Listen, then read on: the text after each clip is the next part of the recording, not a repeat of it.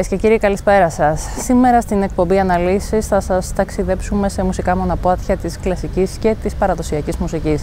Ένα πάντρεμα διαφορετικό και πρωτότυπο που αφήνει το αποτύπωμά του σε όλους. Σημερινός καλεσμένος στην εκπομπή μας είναι ο γνωστός συνθέτης και καθηγητής κιθάρας Δημητρής Βεντρίδης.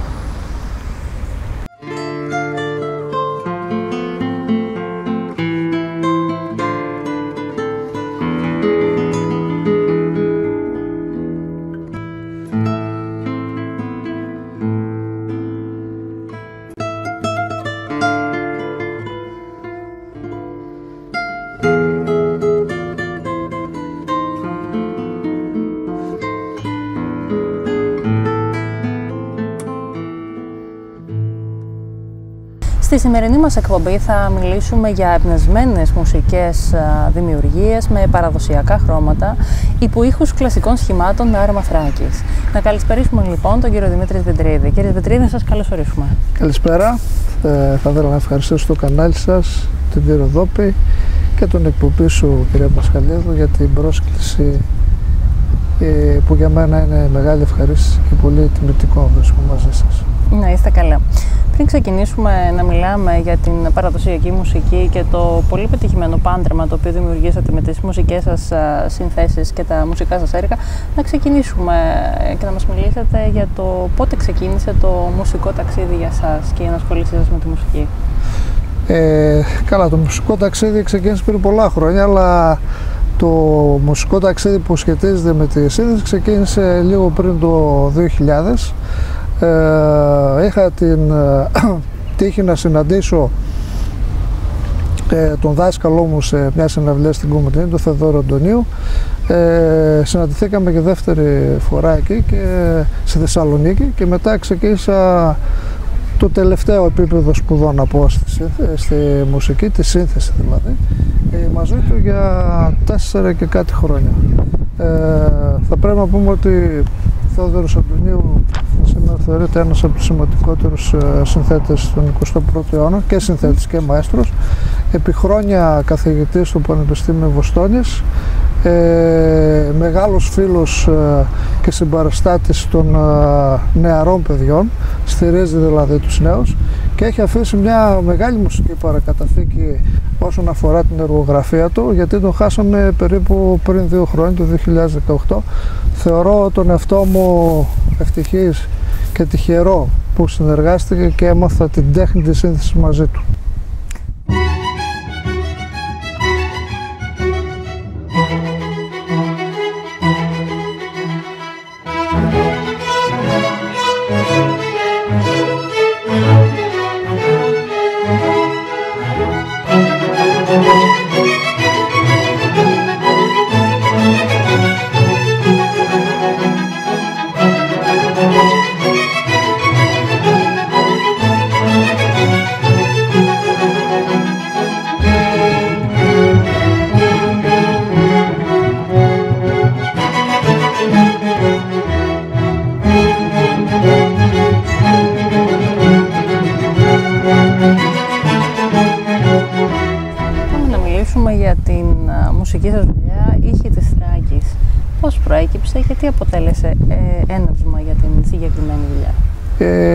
Τις Τράκες ε, προέκυψε σταδιακά, όσο μπορώ να πω, από, τα, από τη συνεργασία που είχα πριν πολλά χρόνια και συνεργάζομαι ακόμη με το Σύλλογο Φίλου Μουσικής Τράκης. Είναι μια συμφωνική ορχήστρα που έχει έδρα την Κομωτινή και ε, κατά περιόδους δίνει την παρουσία της, την καλλιτεχνική της παρουσία στην πόλη. Ε, μου κάνα πρόταση, επειδή παίξαν και κάποια άλλα έργα μου, κάνα πρόταση να κάνουμε κάτι διαφορετικό. Το διαφορετικό ποιο θα ήταν να γράψουμε κάτι που δεν έχει ξαναγραφτεί, κάποιους στρατιώτικους χορούς. Έτσι λοιπόν πριν αρκετά χρόνια ξεκίνησα να γράφω τους πρώτους στρατιώτικους χορούς, νομίζω δύο, και σιγά συνέχισα κατά περίοδο, συνέχισα να τους αυξάνω, έγιναν μετά και στην τελική τους μορφή, που συνεχίζω ακόμη να γράφω, θα γίνουν 10. Μάλιστα. Έτσι λοιπόν ε, ξεκίνησα ε, από αυτούς πήρα το έναυσμα και το ξεκίνημα για να δημιουργηθούν οι ήχοι της Τράκης. Μάλιστα. Πώς έγινε η επιλογή των τραγουδιών αυτών στο CD, γιατί βλέπουμε ότι ε, συμπεριλαμβάνονται για κάποια από τα πιο γνωστά παραδοσιακά τραγούδια της ε, η επιλογή μπορώ να πω ήταν αυθόρμητη, ε, γιατί εγώ ακούω παραδοσιακή μουσική. Ε, σίγουρα διάλεξα τα πιο έτσι, επίκαιρα να πούμε παραδοσιακά τραγούδια αλλά και τα τραγούδια που αγαπούσα εγώ. Ε, Παραδείγματος χάρη το ήταν 5-6 είναι ένα θέμα που το έχω επεξεργαστεί σε πολλά μου έργα. Άρα από εδώ καταλαβαίνετε ότι υπάρχει μια αγάπη προς αυτά τα παραδοσιακά θέματα που αντλούν έμπνευση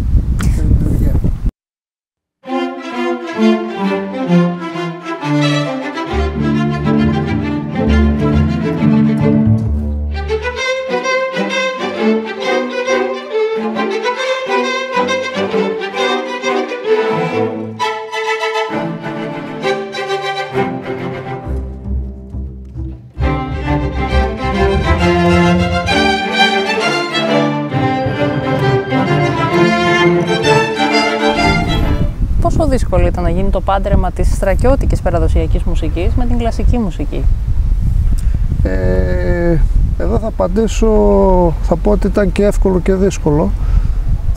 εύκολο από την άποψη ότι έχεις πλέον μια έτοιμη μελωδία, δηλαδή παίρνεις ε, το παραδοσιακό θέμα για να χτίσει όλα τα υπόλοιπα. Το δύσκολο είναι ότι ε, από εκεί και πέρα τη μουσική το θέμα που θα πάρεις σε αυτό το σκοπό θα πρέπει να τον ε, ε δημιουργήσεις ε, μέσα σε ένα μεγάλο ορχιστρικό σύνολο ή ορχήστρα εχόρδων ή μια μεγάλη συμφωνική ορχήστρα. Εκεί λοιπόν είναι το δύσκολο ε, και το διαφορετικό είναι ότι ενώ στην παραδοσιακή μουσική εμπλέκεται πάντοτε όταν παρουσιάζεται το σχήμα πάντοτε ένας τραγουδιστής ή ένα σόλο όργανο ή μια γκάιτα με τη συνοδεία άλλων οργάνων. Εδώ πλέον στη, στην επεξεργασία των έργων αυτών για συμφωνική ορχήστρα ε, τα πράγματα είναι τελείως διαφορετικά. Ε, πρέπει να, για μένα, ε, σαν συνθέτης, να μοιράσεις αυτές τις ε, όμορφες μελωδίες και να περνάνε πολύ εύκολα από διάφορες ομάδες οργάνων ε, καθώς και στόχος μου ήταν να διαφοροποιήσω λίγο το μουσικό άκουσμα να δημιουργήσω τις λεγόμενες αμφιφωνίες. Είναι ένας μουσικός όρος ο οποίος ε, στηρίζεται στη συνύπαρξη δύο διαφορετικών ήχων τη συμφωνία που υπάρχει στη ζωή μας και στην αρμονία και τη μικρή διαφωνία. Όταν αυτά λοιπόν εμπλακούν μαζί δημιουργούν κάτι το διαφορετικό αλλά δεν σε ενοχλούν πολύ αυτό υπάρχει μέσα στην ορχήστρωσή μου και βασικό μέλημα ήταν σίγουρα φυσικά να μην αλλάξω ούτε την αρμονική δομή ούτε τη, τους ρυθμούς γιατί έτσι δεν θα ήταν αναγνωρίσιμη χώρη.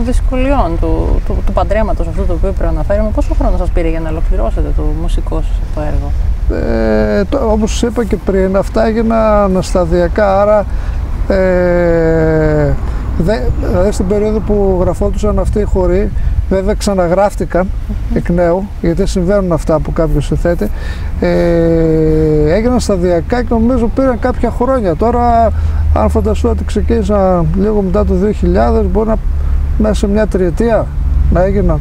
Αλλά έχουν μια μακρά ιστορία γιατί ε, το σύνολο του, όταν έγιναν πλέον οι 7 χωρί ε, έγινε μια πρόταση με τη, να γίνει ηχογράφηση, πρώτη ηχογράφηση που για μένα ήταν και αυτή πολύ σημαντική με τα μουσικά σύνολα της ΕΡΤ στην Αθήνα ε, η οποία δεν ολοκληρώθηκε λόγω πιο κάποιων καταστάσεων.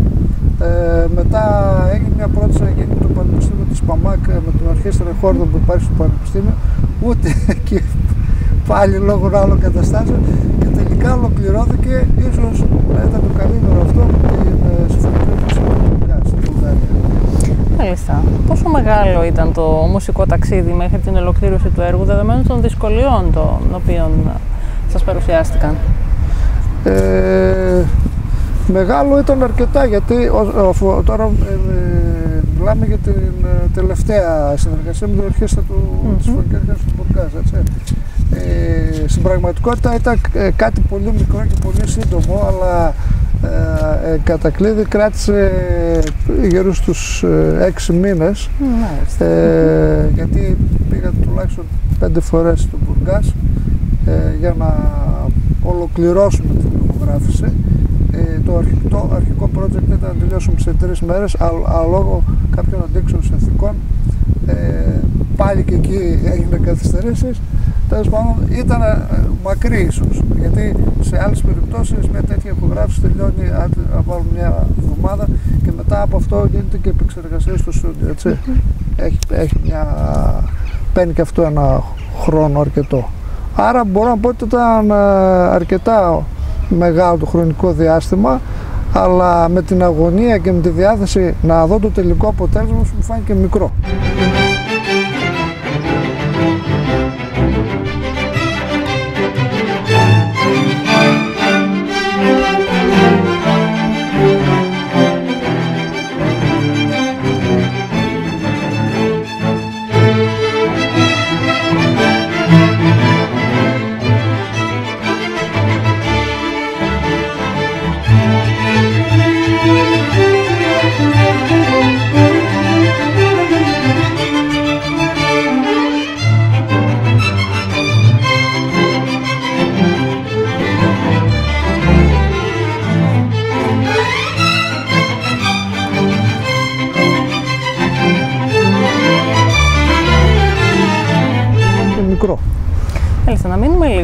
Συνεργασίας σας με την κρατική α, όπερα του Μπουργκάς και να μιλήσουμε λίγο για αυτό παρετέρω. Ε, η κρατική όπερα Μπουργκάς είναι ε, μια από τις ε, μεγάλες ορχές που υπάρχουν στη Βουλγαρία.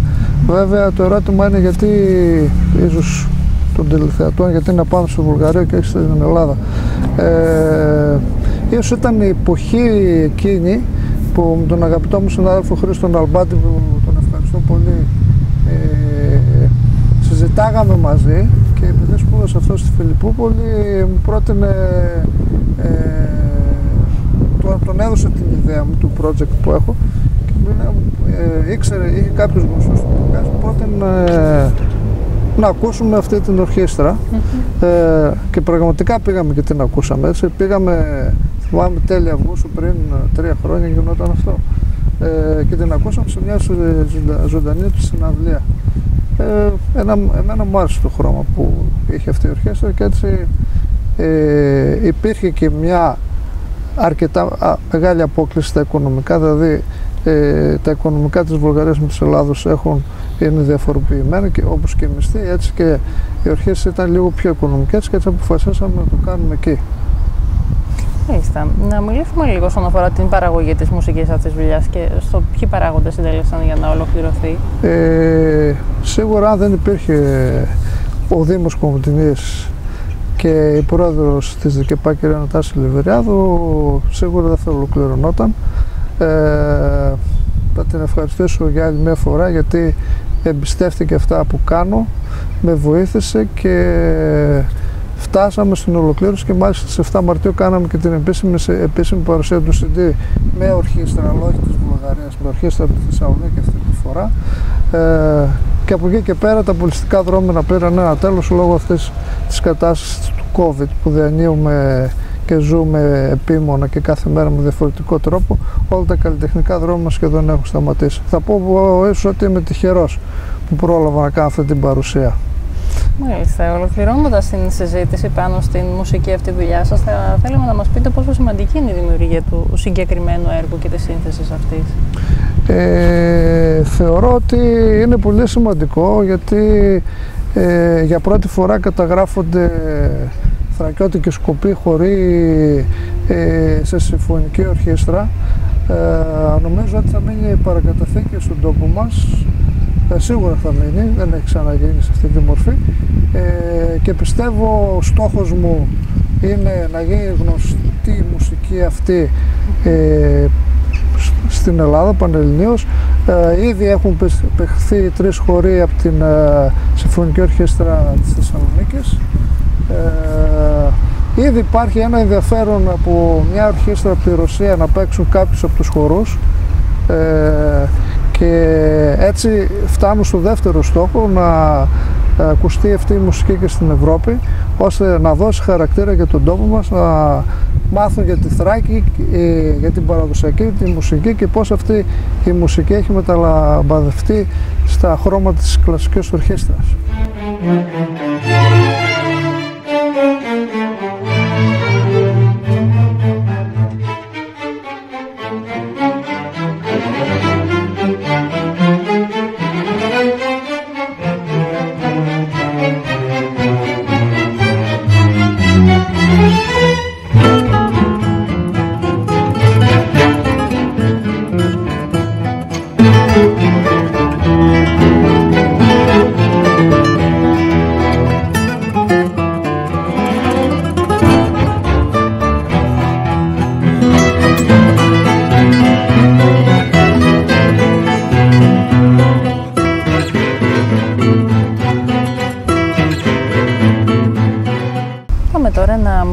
Για το Thracian Trio, το σχήμα κλασικής μουσικής δωματίου. Ποια είναι η ιστορία του σχήματος αυτού; Ε, Thracian Trio λοιπόν, έτσι. Είναι ένα σχήμα μικρό. Μικρό σχήμα, αφού λέγεται τρίο, αποτελείται από τρία άτομα. Ε, το δημιούργησα εγώ πριν αρκετά χρόνια Δηλαδή η γέννησή του κρατάει κοντά στο 2006 αν θυμάμαι καλά σε μια συναυλία που είχαμε όταν είχα κερδίσει κάποιο διαγωνισμό στην Αθήνα τον πρώτο βραβείο ε, στη σύνθεση ε, την επόμενη χρονιά μας είχα προτείνει να κάνουμε μια συναυλία με έργα του ε, έτσι λοιπόν ε, γνωρίζοντας αυτά, αυτούς τους υπέροχους μουσικούς που θα πω ποιος είναι, ποιοι είναι ε, ένα κομμάτι από αυτή τη συναυλία υπήρχε μέσα και το τρίο που δεν, δεν λεγόταν τότε Θρέσια τρίο, αργότερα έγινε. Ε, τότε λοιπόν ξεκίνησε να υπάρχει αυτό. Έγραψα ειδικά μουσική για τα τρία αυτά όργανα που δεν είπαμε ότι είναι το κλαρινέτο, το βιολί και το πιάνο. Ε, και μετά προτείναν τα παιδιά να το αναπτύξουμε και το ευρύνουμε αυτό. Ε, δηλαδή να απομονώσουμε αυτό το σχήμα να υπάρχει και να δίνουμε κάποιες ε, συναυλίες. Ε, έτσι λοιπόν ε, μετά από κάποια χρόνια, μήνες ε, άρχισα να δουλεύω κάποια έργα ειδικά για αυτό το τρίο.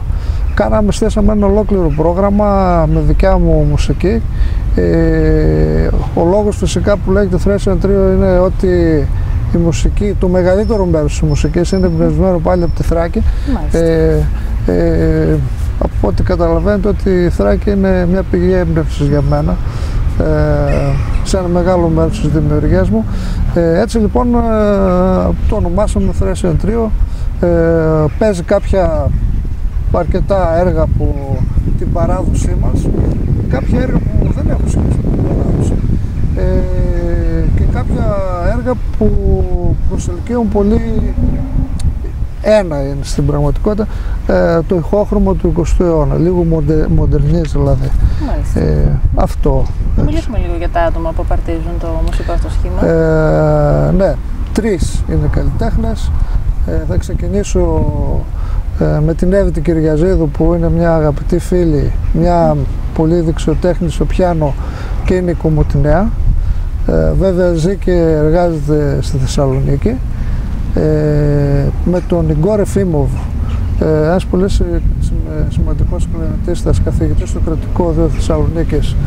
Ε, βέβαια δεν είναι από εδώ, είναι από τη Ρωσία και με τη γυναίκα του την ε, Ραΐσα ε, Ποπαϊλίδη εξαιρετική βιολονίστα που ζει και εργάζεται και αυτή στη Θεσσαλονίκη. Αυτούς τους γνώρισα τους δύο πρώτους το 2006 ε, είχαμε, υπήρχε μια άλλη πιανίστρια, έφυγε από το σχήμα και τώρα το σχήμα δομείται με αυτά τα τρία άτομα.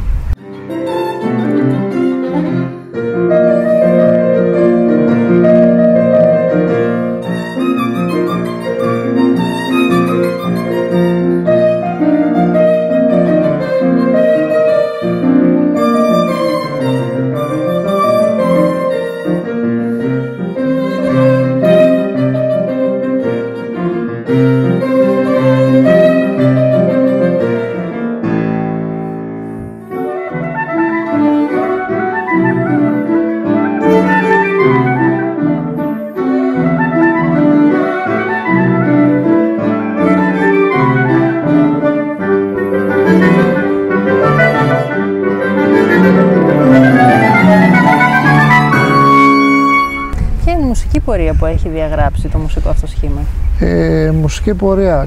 Ε, έχουμε δώσει κατά περιόδους σε αρκετά ε, φεστιβάλ ε, συναυλίες ε, μέσα στην Ελλάδα, αλλά θα σταθώ ίσως στα πιο σημαντικά ε, και πιο τιμητικά για μας στην πορεία και, ε, που έχει αυτό το σχήμα. το πρώτο είναι τα τελευταία χρόνια πέρσι που δώσαμε μια πολύ σημαντική συναυλία στο Νέο Δίο Θεσσαλονίκης. Ε, το πολύ σημαντικό είναι ότι ήμασταν ε, καλεσμένοι στο τρίτο πρόγραμμα της ΕΡΤ στην Αθήνα.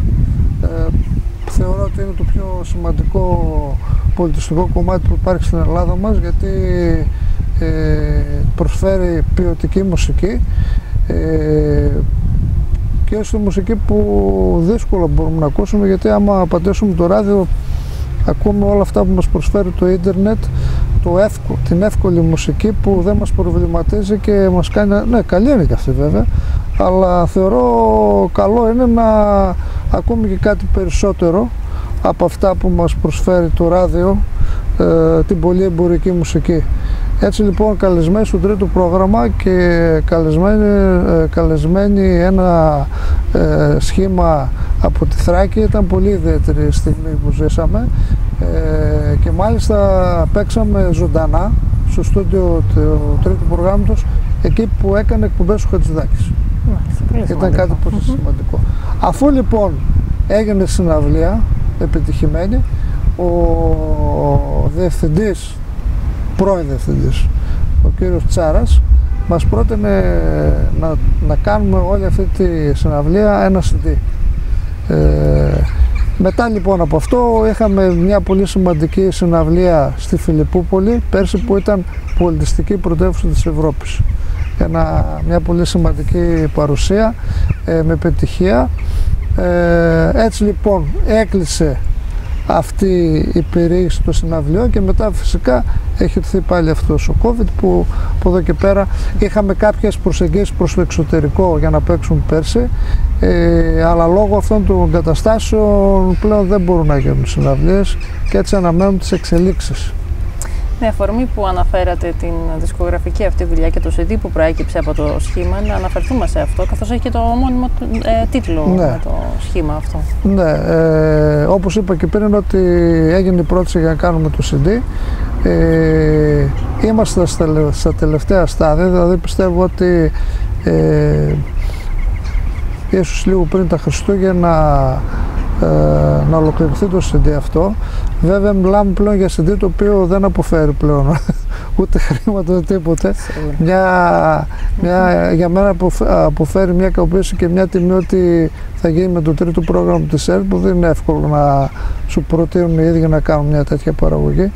Ε, ήδη έδειξε ένας φορέας κομμωτινής ενδιαφέρον για να στηρίξει οικονομικά ε, το CD αυτό ε, και ξέχασα να πω ότι και η προηγούμενη πρώτη παραγωγή του CD που κάναμε και αυτή γίνεται με μια πολύ σημαντική εταιρεία την FM Records. Μάλιστα. Άρα λοιπόν είμαστε σε εξέλιξη, θα γίνει το CD, ε, θα είναι μια καινούργια παρακαταθήκη που θα εμνίγει ίσως σε παρένθεση τη Θράκη και τα ακούσματα τα παραδοσιακά του τόπου μας. Σημαντική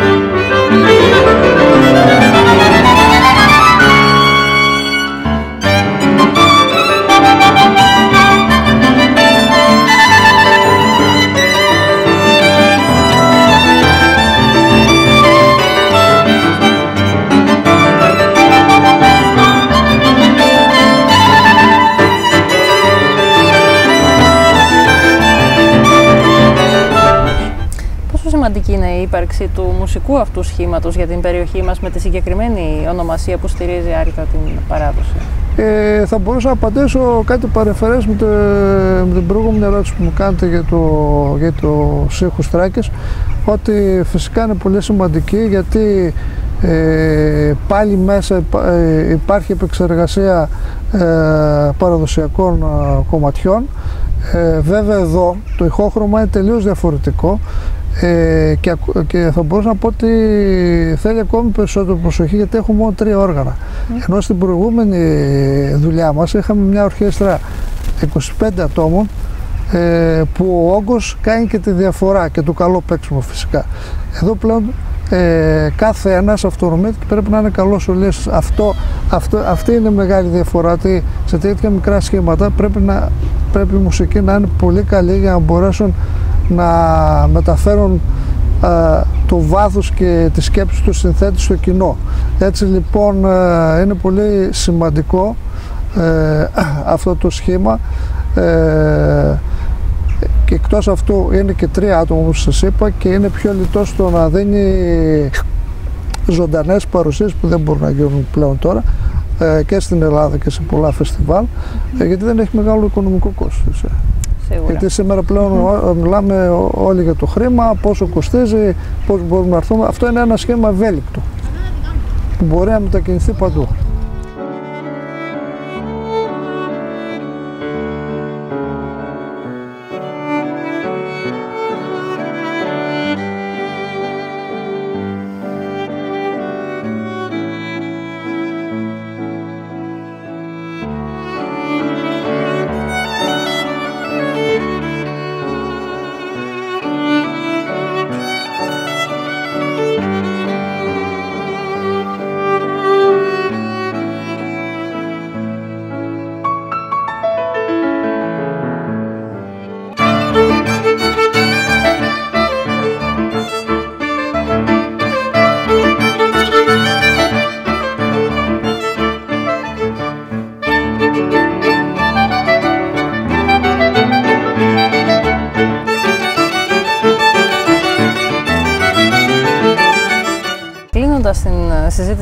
Συζήτησή μας κύριε Βεντρίδη και την ε, παρουσία σας στη σημερινή μας εκπομπή θα θέλαμε να μας μιλήσετε για την ε, τελευταία μουσική δουλειά την οποία ε, προετοιμάζετε και τι ακριβώς περιλαμβάνει. Ναι, πριν μιλήσω για αυτή τη δουλειά ε, να πω ότι και εδώ είχαμε στο Θρέσιαν Τρίο την βαθιά υποστήριξη της κυρίας Νατάσης Λιβεριάδου όσο μας βοήθησε να μετακινηθούμε προς την Αθήνα στη συναυλία που είχαμε στην ΕΡΤ γιατί η ΕΡΤ δεν μας τα έχει καλύψει αυτά την ευχαριστώ για άλλη μια φορά.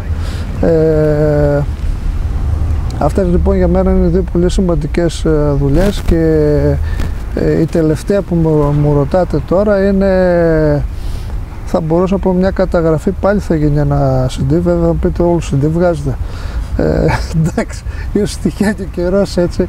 Είναι, μια, είναι δουλειές που γίνονται εδώ και χρόνια μαζεύεις κάποιο υλικό και μετά αποφασίζεις αυτό να το συμμαζέψεις και να το παρουσιάσεις κάπου.